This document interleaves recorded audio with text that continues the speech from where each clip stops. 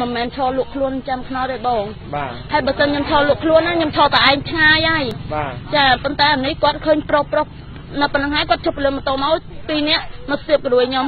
មិនមែនឈរលក់ខ្លួនចាំខ្នោទេបងបាទហើយបើសិនខ្ញុំឈរលក់ខ្លួនណាខ្ញុំឈរតែឯងឆ្ងាយហើយបាទចាប៉ុន្តែអានេះគាត់ឃើញប្រុសប្រុសនៅប៉ុណ្ណឹងហើយគាត់ជប់លើម៉ូតូមកពីរនាក់មកសៀបក្រួយខ្ញុំ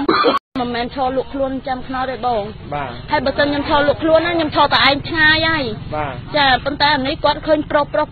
នៅប៉ុណ្ណឹងហើយគាត់ជប់លើម៉ូតូមកពីរនាក់មកសៀបក្រួយខ្ញុំស្នាដៃកូនខ្មែរយកមកពីចិនហើយឪបងឯងបានបង្កើតរោងចក្រនៅស្រុកខ្មែរធ្វើនៅមុខហ្នឹងតែនិយាយប្រុសស្ដាប់ទៀតហេឆ្លើយចឹងហ្មងឆ្លើយចឹងទៅមកបើមិនស្ដាប់បាត់ណាខ្ញុំឆ្លើយចឹងមក មិនមែនឈរលក់ខ្លួនចាំខ្នោទេបងបាទហើយបើសិនខ្ញុំឈរលក់ខ្លួនណាខ្ញុំឈរតែឯងឆ្ងាយហើយបាទចាប៉ុន្តែអានេះគាត់ឃើញប្រុសប្រុសនៅប៉ុណ្ណឹងហើយគាត់ជប់លើម៉ូតូមកពីរនាក់មកសៀបក្រួយខ្ញុំមានប្តីមានបងមានពូ